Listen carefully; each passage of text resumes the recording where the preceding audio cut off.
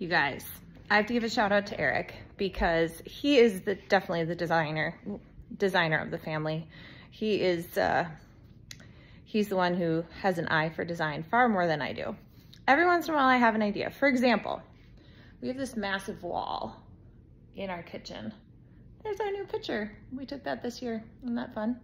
But we have this wall and I imagine that a clock would look really nice here. It's like at the dining room table, pardon the mess. I figured a clock would look really good. So I would not do anything about this though, but we, I, in, prior to our remodel for mold, we had a bunch of stars that we got from my uncle that looked really great. But I'm like, when we don't have the stars, it'd be great to have a clock. Fast forward to like a day ago when we got an email saying that we had some kind of credit thing came through on some sofas or couches that we purchased or chairs. I don't remember what it was. A few years had passed and this credit thing came through. So we have $412 to spend. Cool, right? So I was like, well, we could get this shoe cubby or we could find a clock. And it's funny, we went to HOM furniture and Erik uh, is like, well, I don't even know if they have clocks, decor clocks. Sure enough, they do because he started sending, he sent me like six to eight different possibilities of clocks. And anyway, all that to say, we just found a clock and we determined it. But I have to give a shout out to my husband because I needed to get some work done. And I need a little bit of quiet to do so. So he and the kids went to Capra's to shoot, he and the kids went to the archery shop to shoot in his league. And then all the kids got to run through their bow.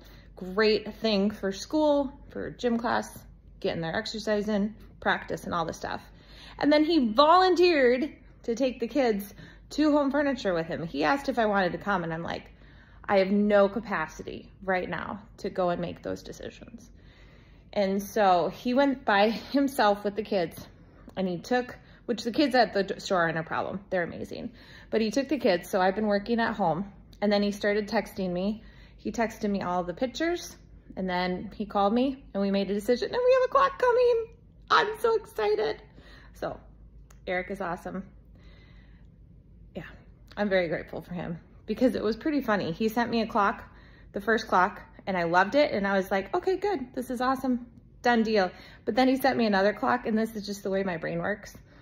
He sent me another clock and I was like, oh no, there's options. I don't want options. I don't like options. I like to look at it and be like, yes or no.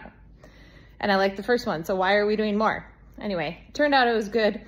We didn't get the first one because we wound up with going with the later one. So more to come. We're gonna fill that space. It's pretty big.